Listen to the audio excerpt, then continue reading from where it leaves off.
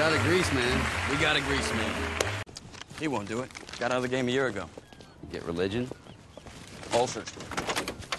Saul, you're the best there is. You're in Cooperstown. What do you want? Nothing. I got a duplex now. I got wall to wall and a goldfish. I'm seeing a nice lady who works the unmentionables counter at Macy's. I've changed. It's not the least accessible system I've seen, but it's close. I don't suppose they have a closed circuit feed I could tap into. No.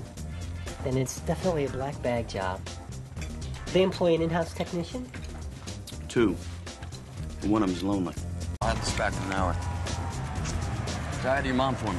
Say it yourself. She'll be on stage in five minutes. That portfolio contains codes to all the cage doors. Mm-hmm. And two minutes after they've been changed, he's got them in his hand. Your knees. The guy goes after your livelihood and the livelihood of anybody you ever met. You scared? You suicidal? Only in the morning. Where'd she come from? Museum up there. She's a curator.